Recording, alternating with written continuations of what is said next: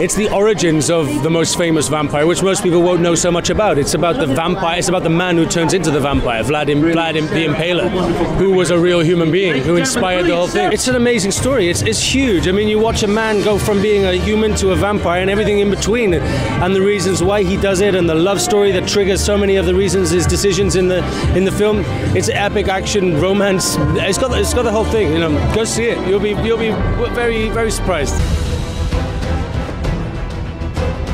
Was a big commitment and a big responsibility, and I loved every minute of it. Yeah, I mean, getting paid to stay fit. You know what I mean? It's great. I had a great time. You know, Luke is such an incredible person to be able to work opposite in this movie. He's such a hard worker and he's such a great actor. It was really fun. It's got a love story. It's got a huge amount of revenge and sacrifice. A huge amount of fight sequences that are just off the chart. It's one that you really should see on the big screen. Well, that's it. I mean, he is a man. He's a human. So it's his journey. It's his experiences in, his life which causes him to make decisions which turn him into a vampire. And it's an interesting, uh, fascinating story which uh, most people wouldn't know about. And I guess that's what makes it different. It's the untold story. I mean, there's not one scene I, I play the same emotion because he just constantly is transforming and holding on to an addiction that he's, you know, he's fighting. It's a, it was a real challenge, I, I, and I loved every minute of it. It's an astonishing cast. I mean, Sarah and Charles, two very different but very equally talented uh, performers. Can you talk about working with them? Oh, I mean, it was a gift, treat. I mean, Sarah Gadon is a revelation. She's a fantastic actress and uh, very easy to fall in love with. And uh, Charles Dance is obviously a legend. And to work against him, and I still feel like I'm learning the ropes. And watching this man just ease his way into a very complicated, difficult character. In four days, he nailed it, and it was just it was a gift to watch. It was a little workshop for me. Um, well, I, I love them all. I really do. I love the Dracula movies, but it was difficult to refer to them because they're all about the Bram Stoker story, and this story is the it's the precursor to the Bram Stoker story, 400 years before. So I was sort of it gave me more freedom and a bit more license to tread fresh ground and tell the story of the man who inspired the whole vampire story in the first place. So.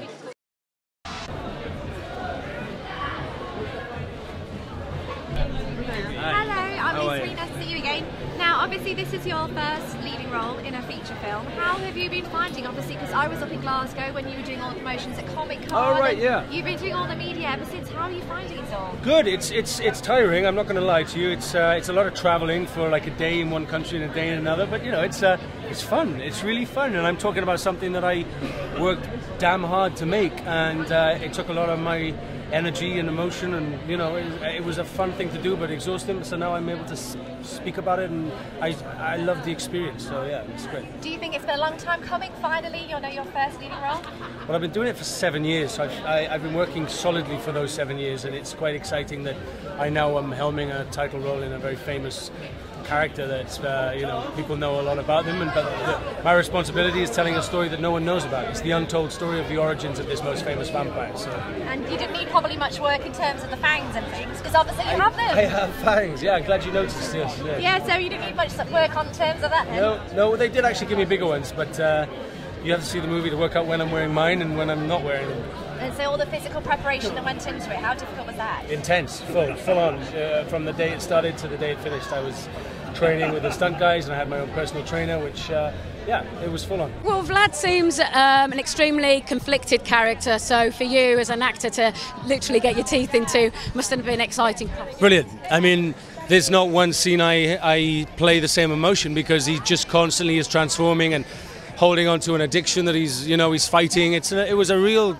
challenge, I, I, and I loved every minute of it. Yeah. For, for, an actor as well, part of the fun is the research. There must have been a plethora of research for you to go to. How Huge. I mean, it goes on and on and on. I mean, there's documentary after documentary. Some are narrated by Christopher Lee, which is even more fun. Yeah. How much input did you get into the actual movie?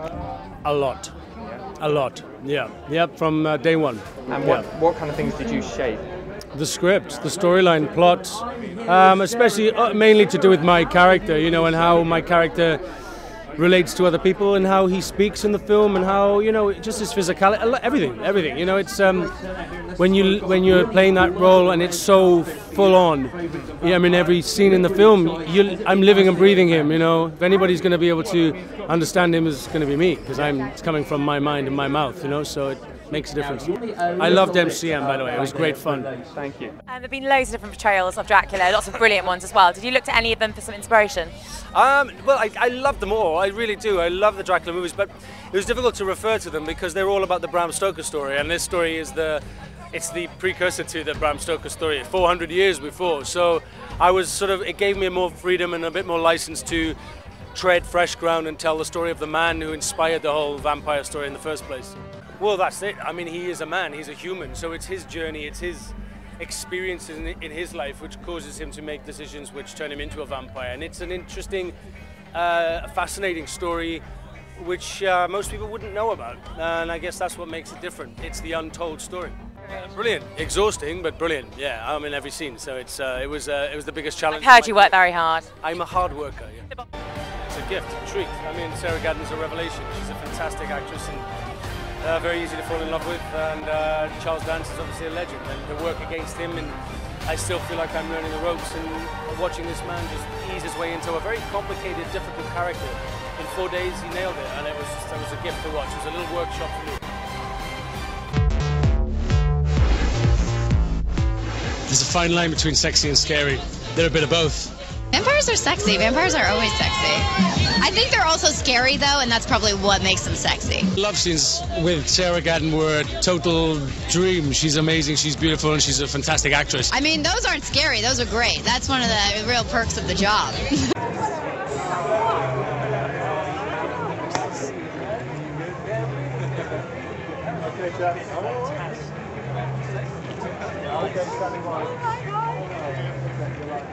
Ladies and, ladies and gentlemen.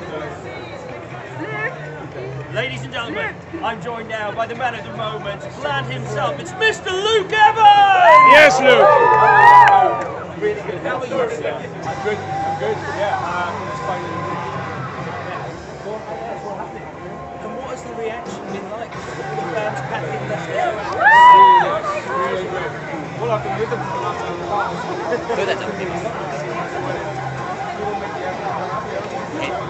欢迎欢迎欢迎欢迎欢迎 Now, tell me, obviously, Dracula is a character we have seen on screen before, but this is a very different Dracula we're seeing. For the most part, he's not even Dracula, he's Vlad. Tell us about how this is a different interpretation of the character to perhaps what we've seen before. Well, the biggest difference is that it's not the Bram Stoker story. It's the uh, it's 400 years before he was even born, um, and it's about the, the, the human, the man that walked this earth in the 1400s. It's uh, Vlad the Impaler, and it's following his story. It's the human story, which most people wouldn't know about. It's not. It's the.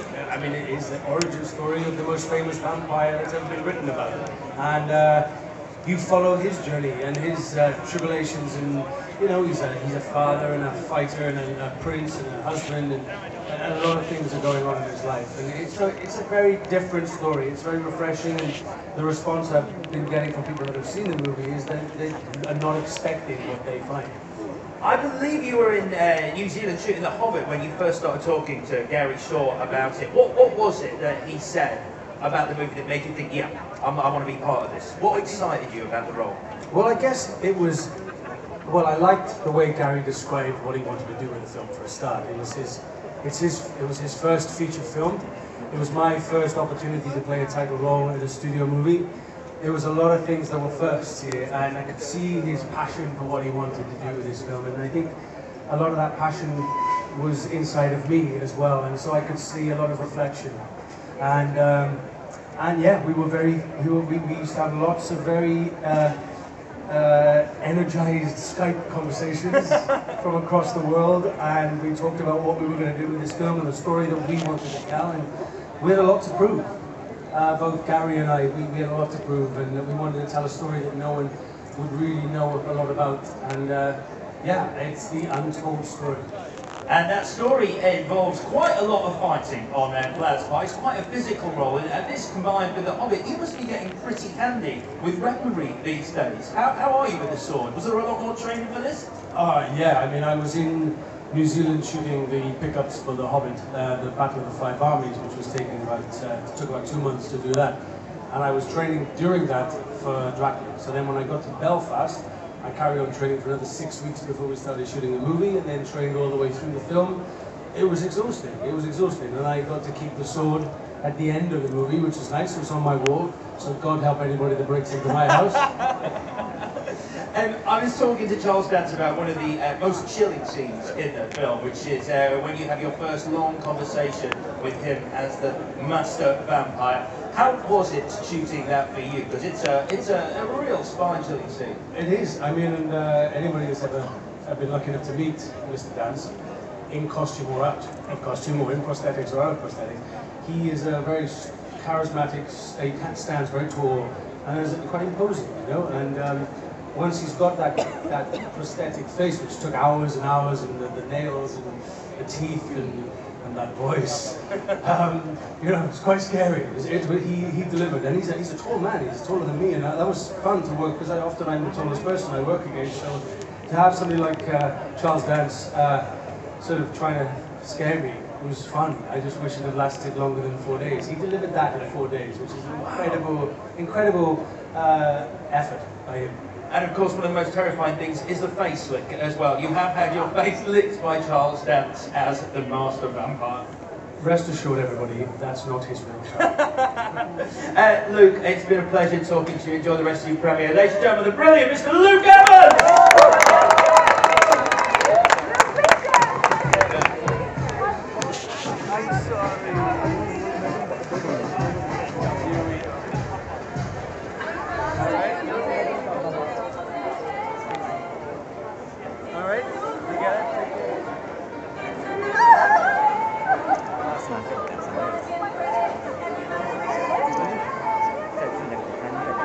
Like a bat out of hell, it's Vlad himself, Luke Evans!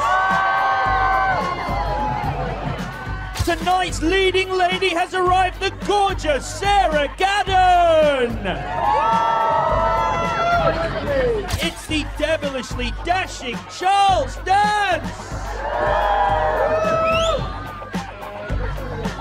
Tell us about how this is a different interpretation of the character to perhaps what we've seen before. Well, the biggest difference is that it's not the Bram Stoker story. It's the uh, it's 400 years before he was even born, um, and it's about the, the the human, the man that walked this earth in the four, 1400s. It's uh, Vlad the Impaler, and it's following his story. He's a father and a fighter and a, a prince and a husband and. A lot of things are going on in his life, and it's so it's a very different story. It's very refreshing, and the response I've been getting from people that have seen the movie is that they are not expecting what they find. We talked about what we were going to do with this film and the story that we wanted to tell, and we had a lot to prove. Uh, both Gary and I, we, we had a lot to prove, and we wanted to tell a story that no one would really know a lot about. And uh, yeah, it's the untold story.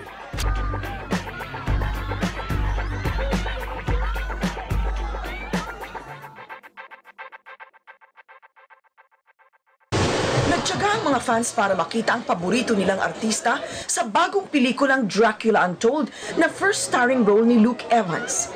I'm a big fan. I've seen it a couple of times sa Fast and It was uh, a parang award, Glamour Award. I walked through these streets many, this square many times and watched other people's premieres happening, and now And it's now mine. yes. Now it's mine. You must be proud of this movie. Proud as punch. Yeah, very, very happy. Umaasa ng suporta si Evans sa mga Pinoy fans. Nakatrabaho ni Evans ang ilang Filipino stars sa Miss Saigon, kaya malapit raw siya sa mga Pinoy. Kumusta kayo? To my Filipino fans, I love you all.